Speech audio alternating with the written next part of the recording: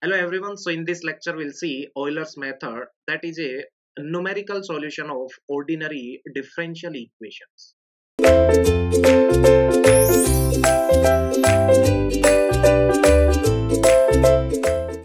Okay guys, so let us begin with Euler's method that is a we can say that numerical solution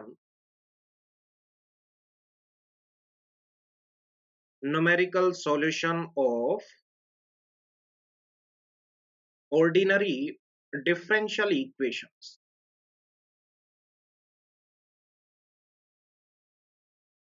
So first method that is I'm going to discuss that one is Euler's or Euler's method.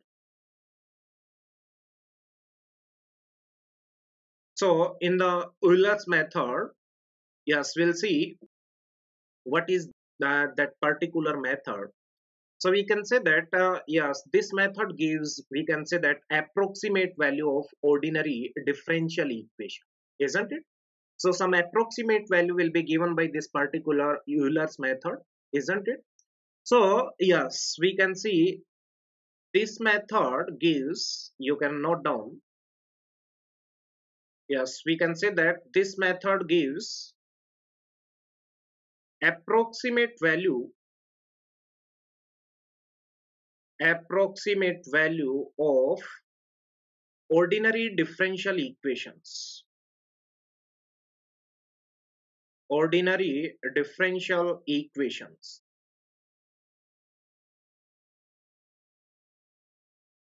Isn't it? So uh, let us consider a differential equation. Let's say consider a differential equation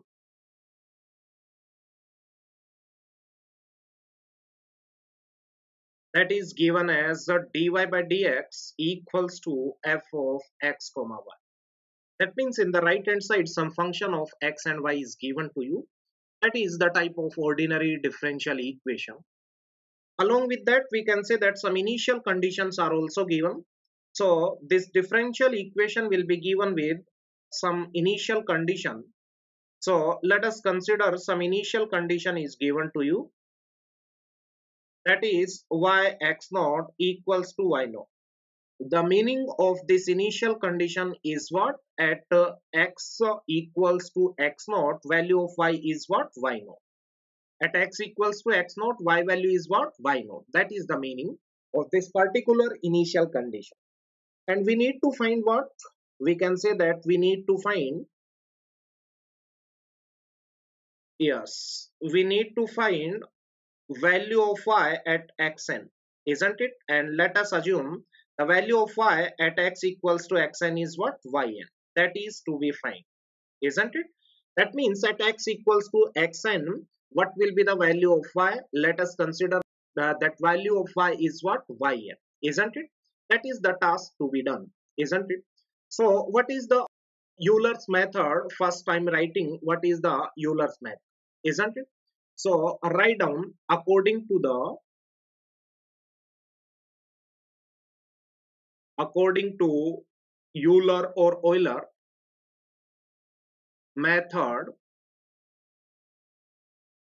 value of yn is given by yn minus 1 plus h into f of x n minus 1 comma yn minus 1 isn't it let us assume this equation is 1 where yes n value is what? 1 2 3 and so on isn't it?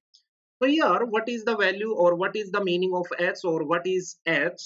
So h is what? That is interval size or we can say that width of differencing width of differencing or we can say that interval size So h is calculated xn minus x naught divided by n, isn't it? So where n is the number of intervals that will be given to you in the question statement, isn't it? So we can say that uh, if we can say that the number of intervals are more, so you can see in this particular formula if n value is large then h value will be small. That means width of differencing or we can say that the size of interval will be less if n value is greater. That's why we can say that if we take the value of n as a large value then yes we will be getting yes we can say that more correct value. In the approximation we will be getting more correct value as we increase the value of n that means number of interval isn't it? Okay so this is the equation one. So put value of n in this particular equation. Let us consider n value equals to 1 then we can say that put n equals to 1 in equation 1 then it becomes what? Y1 equals to y naught plus h into f of x naught comma y naught. Let's say that is equation 2 isn't it?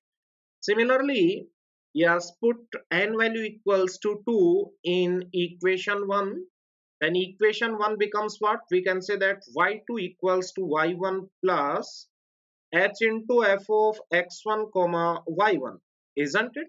And so on isn't it so we can say that yes y naught if y naught is given and we can find uh, y1 comma y2 comma y3 yes and so on using Euler's method. Isn't it? Okay. So i hope this one this uh, working rule is clear to you guys isn't it so yes we can say that euler method is a uh, we can say that solution of ordinary differential equation and that gives some approximate value of the differential equation. Means solution of differential equation will be in some approximate value. If number of intervals are more then we will be getting yes more correct approximate value isn't it? If number of intervals are small then we can say that yes if number of intervals are less then we can say that yes the approximate value will not be more correct value isn't it? I hope this one is clear to everyone what is euler's method and what is the working rule.